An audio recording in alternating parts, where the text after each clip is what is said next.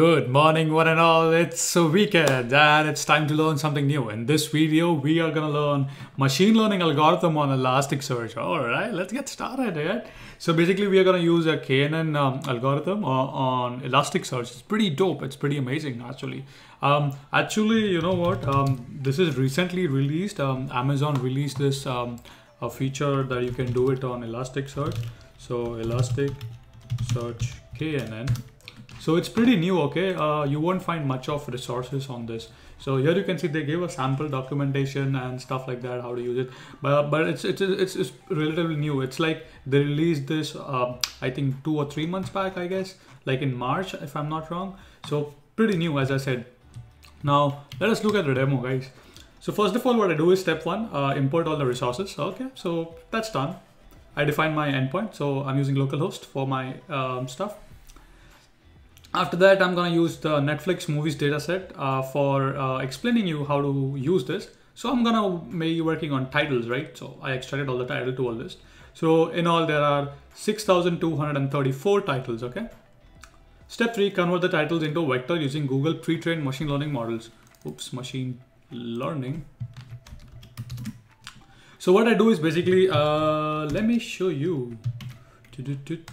So if I go to Google, and if I say TensorFlow, TensorFlow Hub actually.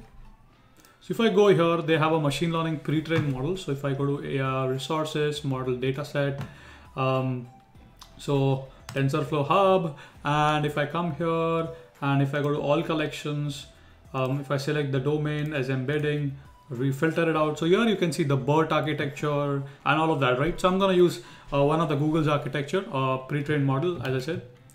So what I do is basically I convert each title into a vector. Uh, so here you can see there are 6,200. So here you can see one of the vector, how it looks like. It's basically numbers.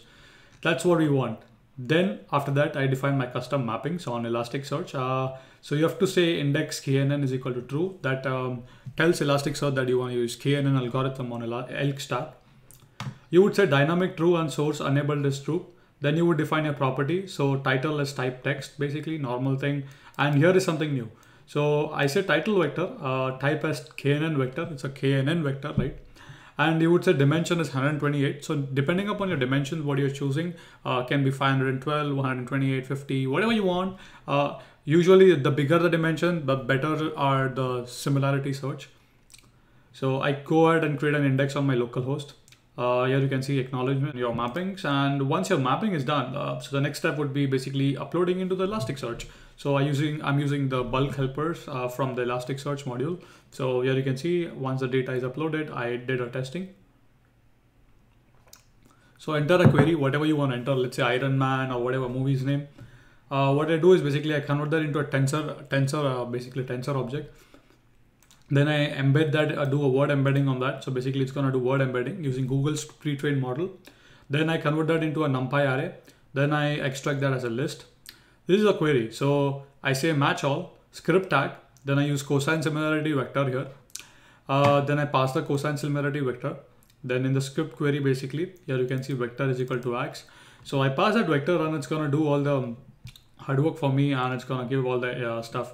So here uh, in the query, you would say es.search, provide the index name, size, how many records do you want to receive, and stuff like that. And once you do it, I'm just gonna filter it out to better uh, see the results, right?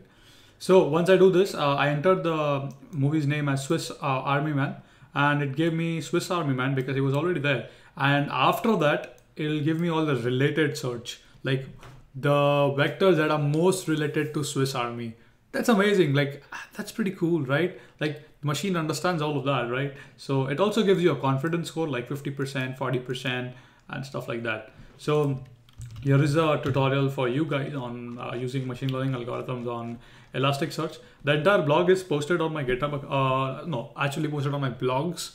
So kindly go and check it out. And if you have any, any additional questions, uh, kindly reach out to me. So this is what I learned this week and I thought to teach you guys.